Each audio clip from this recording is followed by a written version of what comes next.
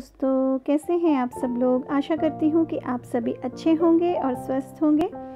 तो फ्रेंड्स, ये जो मेरा व्लॉग है ना, ये वसंत पंचमी से पहले का व्लॉग है, लेकिन मैं इसको ना अपलोड नहीं कर पाई थी। मैंने पहले वसंत पंचमी वाला व्लॉग जो है ना, वो अपलोड किया है। उसके बाद मैं अब आज ये व्लॉग जो है, वो अपना अपलोड कर रही हूँ। तो ये उसके दो दिन पहले का जो है वीडियो है। और उस दिन ना इतनी हवा चल रही थी, मौसम इतना ज़्यादा ख़राब था ना, देखिए।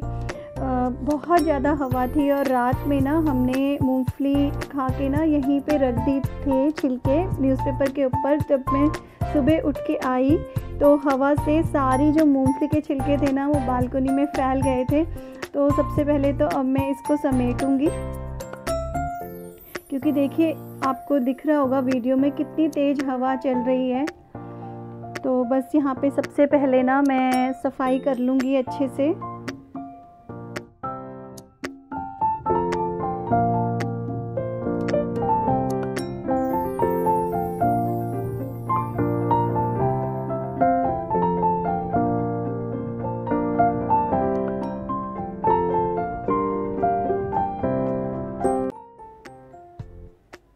बस ये कूड़ा वगैरह सारा उठा लेती हूँ और अब ये देखिए मैं ना ऊपर जो है वो चढ़ गई हूँ क्योंकि यहाँ पे ना मैंने पर्दे लगाए हुए थे क्योंकि बहुत हवा आती है रात में ना, ठंडा भी हो जाता है, इसलिए मैं जो शाम के समय यहाँ पे ना पर्दे लगा देती हूँ मतलब लेकिन जो हवा थी ना वो इतनी ज़्यादा तेज़ थी कि जो मैंने लगाए हुए थे पर्दे जिस पे लगाए हुए थे वो भी टूट गई थी रस्सी तो इसीलिए मैं ना यहाँ पे बस पर्दे भी तय करके अब रख दूँगी और अब मैं नहीं लगाऊँगी। और ये देखिए, काम मेरा सारा हो चुका है। दूध जो है वो मैं उबालने के लिए रखा हुआ है।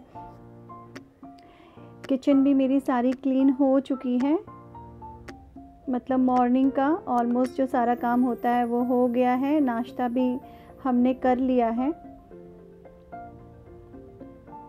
और यहाँ पे ना मान्या बना रही है पेंटिंग आजकल मान्या का रोज़ कुछ ना कुछ प्रोजेक्ट चल रहा है तो ये वाला जो पेंटिंग वाला भी है ना, उसने ये सबमिट करके देना है तो अभी वो, वही अपना काम कर रही है।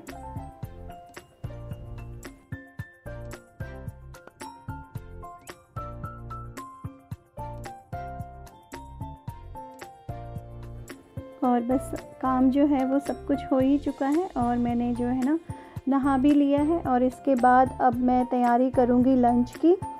और ना भूख भी बहुत तेज़ लग रही है। ऐसा होता है ना काम करते करते टाइम का पता ही नहीं चलता।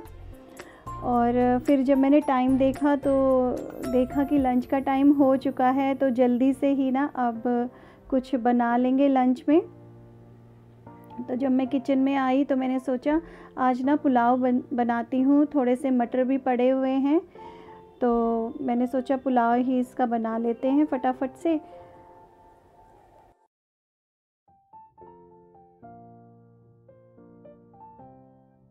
तो बस जल्दी जल्दी अब चॉपिंग कर लूँगी। ज़्यादा कुछ नहीं डाल रही हूँ। बस मैं मटर के साथ थोड़े से आलू डाल रही हूँ और बस मैंने प्याज यहाँ पे काट के रखा है छौक के लिए। चावल जो है मैं पहले ही भिगो चुकी थी और यहाँ पे मैंने डाला है अभी तेज पत्ता।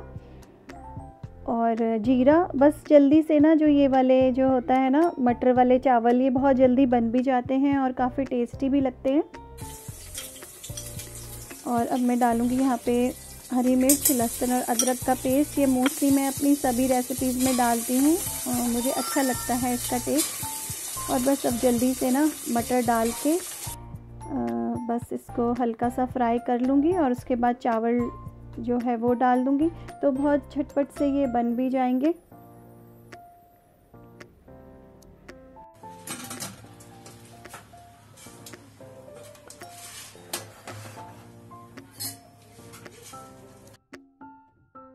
साथ ही साथ में ना, इसके साथ मैं बना रही हूँ टमाटर की चटनी और इसको ना मैं पहले जो है वो गैस पे भून लूँगी। और मुझे बहुत अच्छी लगती है ये वाली चटनी। मैं मतलब बनाती रहती हूँ इसे घर पे। तो बस इसको ना इस तरीके से भून लेंगे। साथ में मैंने रखी है हरी मिर्च और लहसुन। और भुनने के बाद जो होता है ना, इसका मैं बाहर का छिलका है वो निकाल लूँगी। और साथ ही जो टमाटर के जो बाहर का जो छिलका है वो निकाल लूँगी। और फिर इसमें मैं हल्का सा जो है ना वो सिर्फ़ नमक डालूँगी और हाथ से ही इसको मैं इस तरीके से मैश कर लूँगी, क्योंकि हाथ से ही ये अच्छी तरीके से मैश होता है। और इसमें मैं ज़्यादा कुछ नहीं डालूँगी। आप चाहें तो इसमें जो है ना, प्याज काट के डाल सकते हैं, बारीक हरी मिर्च डाल सकते हैं, हरा धनिया काट के डाल सकते हैं। तो मैं बस बिल्कुल, लेकिन कुछ नहीं डाल रही हूँ। इसे सिंपल तरीके से मैं बनाऊँगी। तो देखिए लंच मेरा तैयार हो चुका है।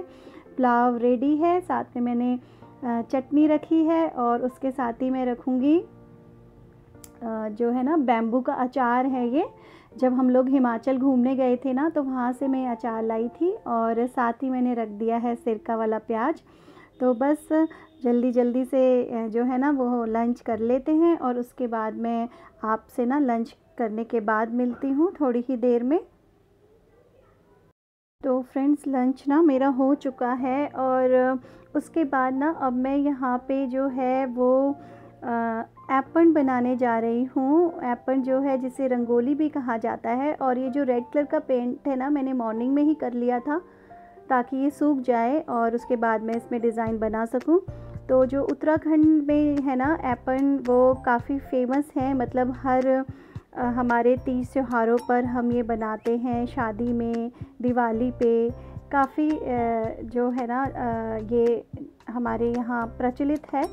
तो बस मैं उसी का डिज़ाइन अभी यहाँ पे बनाने जा रही हूँ, क्योंकि दो दिन बाद है वसंत पंचमी और इस बार ना दिवाली पे मैंने और दहलीज पे तो बना दिया था ये डिज़ाइन लेकिन जो मेरी ये किचन वाली दहलीज थी ना, इस पर मैं नहीं बना पाई थी।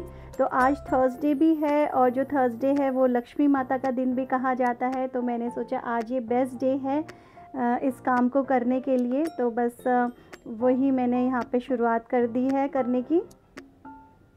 और मैं कोई ऐसा बारीक काम नहीं करूँगी अभी इसमें जिसमें ज़्यादा समय लगे तो मैं अभी ऐसा डिज़ाइन बनाऊँगी जो बहुत ज़्यादा जल्दी बन जाए, ज़्यादा टाइम नहीं ले, क्योंकि इतना टाइम मेरे पास नहीं है, इसको सूखने में भी टाइम लगेगा।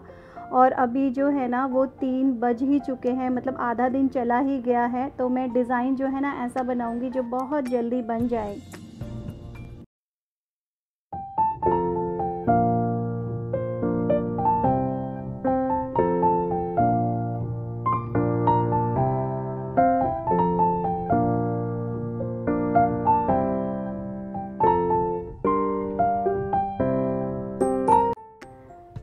फ्रेंड्स बस वही मैं यहाँ पे कर रही हूँ। और देखिए पेंटिंग मैंने जैसे आपको पहले भी वीडियो में बताया था कि मुझे पेंट करने का बहुत ज़्यादा शौक़ है। मुझे बहुत अच्छा लगता है ये सारी चीज़ें करना।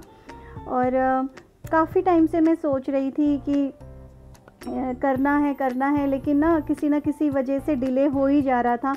तो बस आज मैंने सोचा, आज तो करना ही है, क्योंकि परसों त्यौहार है, वसंत पंचमी है तो उससे पहले ना मैं ये कर ही लेती हूँ। तो बस और भी मैं काफ़ी डिज़ाइन आपके साथ शेयर करूँगी जब मैं बनाऊँगी एपन के।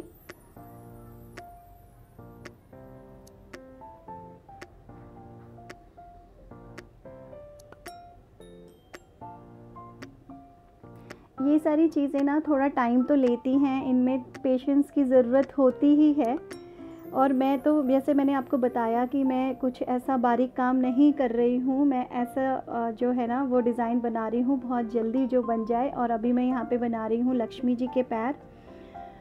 तो बस जल्दी ही ये डिज़ाइन जो है ना, वो बन जाता है। ये देखिए, अब ये पूरा बन चुका है डिज़ाइन, लग रहा है ना खूबसूरत। तो फ्रेंड्स अगर किसी भी कारण से आपको आज की ये वीडियो पसंद आई हो, मेरा ये डिज़ाइन पसंद आया हो तो प्लीज़ लाइक ज़रूर कर दीजिएगा। और जो भी मेरे चैनल पर नए हैं, वो मेरे चैनल को सब्सक्राइब ज़रूर कर लीजिएगा। जल्द ही मिलूँगी अपनी एक नई वीडियो के साथ। तब तक के लिए बाय बाय